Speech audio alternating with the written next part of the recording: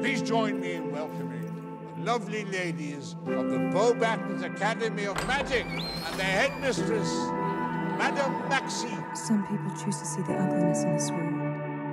I choose to see the beauty.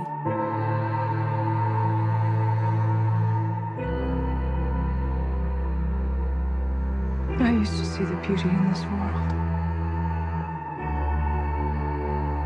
And now I see the truth.